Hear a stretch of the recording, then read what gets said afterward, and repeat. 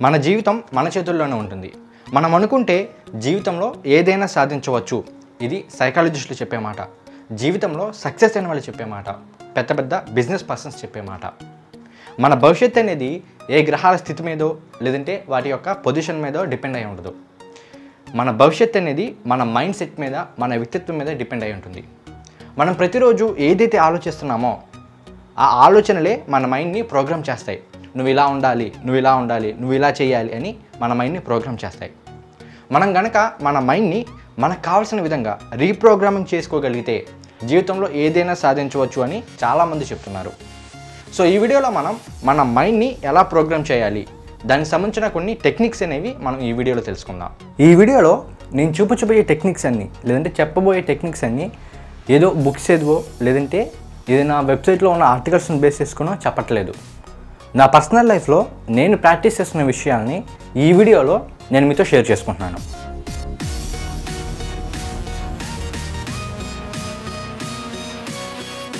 Hi friends నా పేరు Sunil. Last వీడియోలో మనం మన మైండ్ అంటే ఏంటి మన మైండ్ ఎలా పనిచేస్తుంది అనేది తెలుసుకున్నాం మీరు కనుక ఆ వీడియో చూడకపోయినట్లయితే ముందుగా ఆ వీడియో చూడండి. దానికి సంబంధించిన లింక్ అనేది కింద డిస్క్రిప్షన్లో ఇవ్వడం జరిగింది. ఈ వీడియోలో మనం మన మైండ్ని మనకు కావాల్సిన విధంగా మనకి నచ్చిన విధంగా ఎలా రీప్రోగ్రామింగ్ చేయాలి? దానికి కావాల్సిన టెక్నిక్స్ ఏంటి అనేది తెలుసుకుందాం. మనం మన మెయిన్ సబ్జెక్ట్లోకి వెళ్ళే ముందు ఇంకొకసారి సబ్కాన్షియస్ మైండ్ అంటే ఏంటి అని తెలుసుకుందాం. మనం ప్రతిరోజు చేసే పనులలో దాదాపు తొంభై శాతం పనులు. ముఖ్యంగా మనం ఎక్కువగా ఫోకస్ చేయాల్సిన అవసరం లేని పనులు. అంటే ఉదాహరణకి శ్వాస తీసుకోవడం. మన శ్వాస తీసుకోవడం మీద ఎక్కువ ఫోకస్ చేస్తామా? అంటే గాలి తీసుకునేటప్పుడు కానీ లేదంటే గాలి వదిలేటప్పుడు కానీ మనం దాని మీద ఫోకస్ చేస్తామా? లేదు కదా? అది ఆటోమేటిక్గా బ్యాక్గ్రౌండ్లో జరిగిపోతూ ఉంటుంది. సో ఇటువంటి పనులన్నీ కూడా మనకి మన సబ్కాన్షియస్ మైండే కంట్రోల్ చేస్తుంది.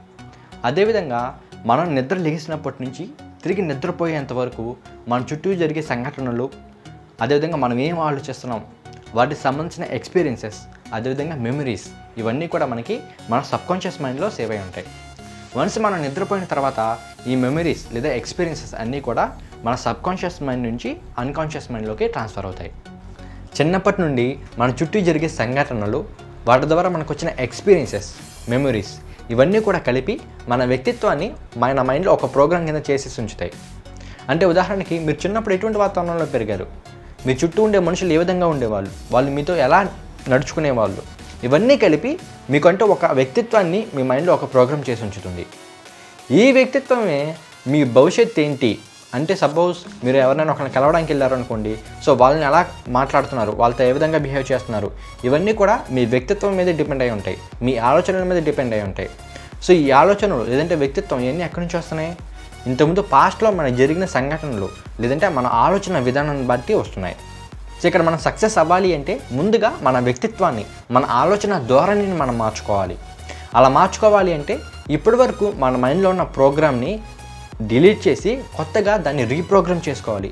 మనకి ఎక్కడెక్కడ మనం ఏ విషయంలో అయితే మనం మారాలనుకుంటున్నామో సపోజ్ డ్రెస్సింగ్లో కావచ్చు లేదంటే మాట్లాడే విధానం కావచ్చు లేదంటే ఒకరితో మనం ఎలా బిహేవ్ చేస్తున్నాం కావచ్చు వీటిలో మనం ఏదైనా మార్చుకోవాలి అంటే ముందుగా మనం ఏం చేయాలి? వాటిని రీప్రోగ్రామింగ్ చేసుకోవాలి. సో అది ఎలా చేసుకోవాలి అనేది ఇప్పుడు మనం తెలుసుకుందాం. మన మైండ్ని మనకు కావాల్సిన విధంగా రీప్రోగ్రామింగ్ చేసుకోవడానికి ఐదు టెక్నిక్స్ అనేవి ఉన్నాయి. వీటిని మనం తెలుగులో అయితే పంచసూత్రాలు అనుకుందాం. మీరు కనుక వీటిని ఖచ్చితంగా హండ్రెడ్ పర్సెంట్ పర్ఫెక్ట్గా ఫాలో అయినట్లయితే జీవితంలో మీరు అనుకున్నది ఏదైనా సరే సాధించగలరు. ఇది నేను చెప్తున్న మాట కాదు సైకాలజిస్టులు చెప్తున్న మాట చాలామంది రచయితలు చెప్తున్న మాట. సో ఇక్కడ మీరు ఏదైనా సరే సపోజ్ ఒక బిల్డింగ్ కొనాలనుకుంటున్నారా? లేదంటే ఫ్యూచర్లో ఒక కార్ కొనాలనుకుంటున్నారా? ఏదైనా సరే మీరు అనుకునేది ఏదైనా సరే సాధించవచ్చు. ఖచ్చితంగా సాధించి తీరుతారు. ఇది చాలామంది చెప్తున్నమాట. సో ఇప్పుడు మనం ఆ ఐదు టెక్నిక్స్ ఏంటో తెలుసుకుందాం. అందులో ఫస్ట్ వన్ పాజిటివ్ థింకింగ్ కొన్ని రీసెర్చ్ల ప్రకారం మనిషి తన జీవితంలో సగటున ఎనభై శాతం కేవలం నెగిటివ్ థింకింగ్ లేదంటే నెగిటివ్గా ఆలోచన చేస్తుంటాడంట. ఎందుకంటే ఇక్కడ మనిషి మంచి కన్నా చెడుకే ఎక్కువ అట్రాక్ట్ అవుతాడు. ఒకసారి ఎదురు దెబ్బ తగిలింది అంటే ఇంకంతే. ఇది నా చేత కాదు నా వల్ల కాదు నా జాతకంలో ఇలాంటిది రాసలేదు. ఇలా నెగిటివ్ థింకింగ్ చేస్తాడే తప్ప నేను ఖచ్చితంగా చేయగలను చేసి తీరగలను అని పాజిటివ్ థింకింగ్ అనేది చేయడు. ఇక్కడ మనం నెగిటివ్ థింకింగ్ ఏదైతే చేస్తామో నెగిటివ్గా ఏదైతే ఆలోచిస్తామో ఆ ఆలోచనని మన మైండ్లో ఒక ప్రోగ్రామ్ కింద చేసేసి ఉంచుతాయి. దీనివల్ల మనకేమవుతుంది? నెక్స్ట్ టైం మనం అది ట్రై చేయాలనుకున్నా కూడా మన వల్ల అవ్వదు. మనకు చేత కాదు అనిపిస్తుంది తప్ప దాన్ని చెయ్యాలి అన్న ఇంట్రెస్ట్ అనేది మన మైండ్లో రాదు. సో ఫస్ట్ ఆఫ్ ఆల్ మనం ఏం చేయాలంటే ఏ విషయాన్నైనా సరే పాజిటివ్గా థింక్ చేయడం అలవాటు చేసుకోవాలి. అది ఏ విషయమైనా సరే. ఫర్ ఎగ్జాంపుల్ మీకు నా లైఫ్ ఎక్స్పీరియన్స్ చెప్పాలి అంటే యాక్చువల్లీ నాకు కెమెరా ఫియర్ అనేది చాలా ఎక్కువ. కెమెరా ఫియర్ కావచ్చు స్టేజ్ ఫియర్ కావచ్చు నాకు చాలా ఎక్కువ. నిజానికి నేను ఫస్ట్లో కెమెరా ముందుకు వచ్చినప్పుడు చాలా భయపడేవాడిని. నేను యాక్చువల్లీ విజయవాడ సిటీ కేబుల్లో ఫోర్ ఇయర్స్ వీడియో ఎడిటర్గా చేశాను. సో అందులో చేస్తున్నంత కాలం కెమెరా ముందు రావాలంటే చాలా రోజులు. చాలా భయం వేసేది సరిగ్గా మాట్లాడలేకపోయేవాడిని. కానీ ఈ రోజు ఆ టెక్నిక్స్ నేను ఫాలో అయిన తర్వాత ఇలా కెమెరా ముందు మీ ముందుకు వచ్చి నేను వీడియోస్ అనేవి చెప్పగలుగుతున్నాను. సో ఇక్కడ ఏంటంటే నేను నన్ను ప్రతిరోజు నన్ను నేను మోటివేట్ చేసుకునేవాడిని. ఎందుకు? అంతమంది చేసినప్పుడు మనం ఎందుకు చేయలేం? ఎలాగైనా సరే చేయొచ్చు పర్వాలేదు. సో మనల్ని మనం ప్రజెంట్ చేసుకుంటున్నాం. సో నేను ప్రతిరోజు అదే ఆలోచించేవాడిని నేను చేయగలను నేను చేయాలి చేసి తీరాలి. ఇలా పాజిటివ్ థింకింగ్ అనేది అలవాటు చేసుకున్నాను కాబట్టి ఈరోజు ఇలా కెమెరా ముందుకు వచ్చి నేను రికార్డింగ్ అనేది చేయగలుగుతున్నాను.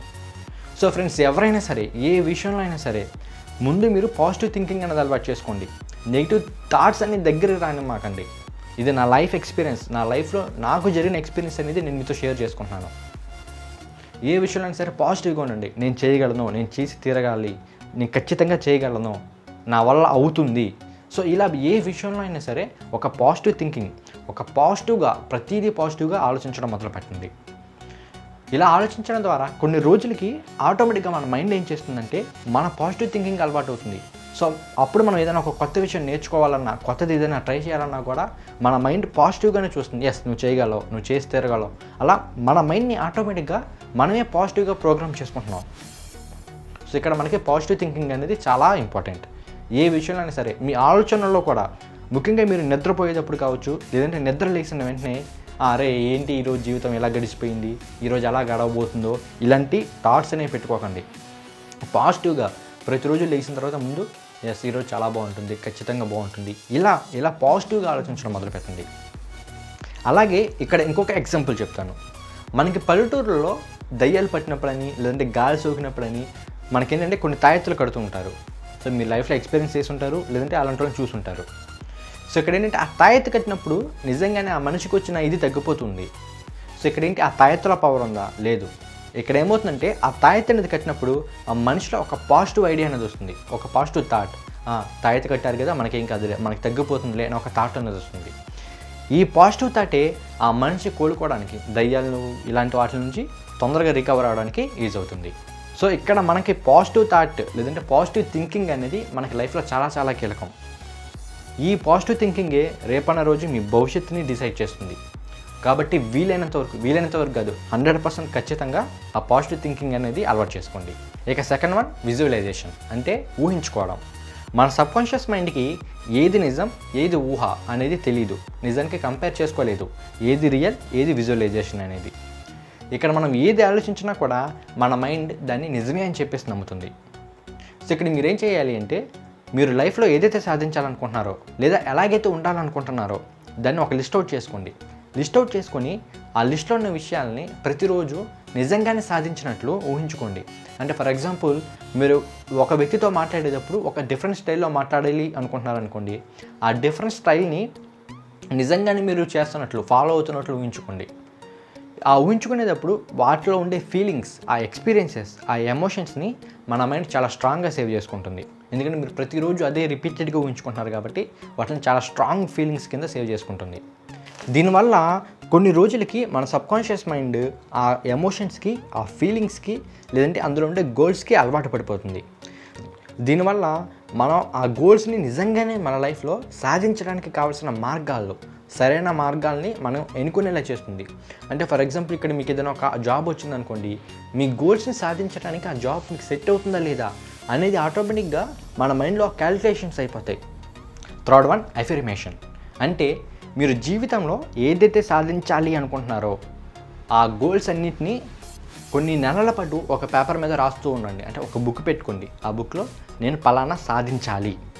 నేను కారు కొనుక్కోవాలి నేను బిల్డింగ్ కొనుక్కోవాలి నా జీవితం హ్యాపీగా ఉండాలి. ఇలాంటివి వద్దు. జీవితంలో హ్యాపీగా ఉండాలనేది వద్దు. నేను కారు కొనుక్కోవాలి. నేను హోండా సిటీ కార్ కొనాలి. లేదా నేను బిఎండబ్ల్యూ కార్ కొనాలి. నేను ఒక బిల్డింగ్ కొనాలి. పలానా ఏరియాలో ఒక బిల్డింగ్ కొనాలి. ఇలా. మీరు ఏది చేసినా సరే పాజిటివ్గా ఉండేలా చూసుకోండి. అండ్ ప్రతి దానికి ముందు నేను సాధించాలి. ఉండాలి. ఉండి తీరాలి. ఇలా అనుకోండి. ఇలా ప్రతిదీ కొన్ని నెలల పాటు రాస్తున్నారనుకోండి ఆ గోల్స్ అనేవి మన మైండ్లో స్ట్రాంగ్గా సేవ్ అయిపోయి ఉంటాయి. దీని ద్వారా మనం చేసే ప్రతి ఆలోచన మనం వేసే ప్రతి అడుగు కూడా మనకు తెలియకుండానే మన ప్రమేయం లేకుండానే మన గోల్స్ వైపు వెళ్తాయి. ఎందుకంటే ఇక్కడ మీరు ఏదైనా ఒక విషయం గురించి ఆలోచించాలి అనుకోండి ఎలా ఆలోచిస్తారు? ఆ ఆలోచనకు కావాల్సిన ఇన్ఫర్మేషన్ అనేది మన గతంలో మనకున్న ఎక్స్పీరియన్సెస్ని మన మెమరీస్ని బేస్ చేసుకుని ఉంటుంది. అవునా కదా? సపోజ్ ఏసీ అన్నాను అనుకోండి ఆ ఏసీ సంబంధించిన ఇన్ఫర్మేషన్ మీకు ఎక్కడి నుంచి వస్తుంది? ఇంతకుముందు మీరు లైఫ్లో ఎక్కడో ఏదో ఒక ఏసీ చూశారు కాబట్టి ఏదైనా ఒక షోరూంలో ఒక ఏసీ చూస్తే ఆ ఏసీ అనేది మీ మైండ్లోకి వస్తుంది తప్ప కొత్త ఏసీని లేదంటే కొత్త మనిషి అనేవాడు మీ మైండ్లోకి రాడు. మీ మెమరీలో సేవ్ అయిన వాళ్ళే లేదంటే ఆ వస్తువులే మీ మైండ్లోకి వస్తాయి. సో ఇక్కడ మన గోల్స్ కూడా అంతే.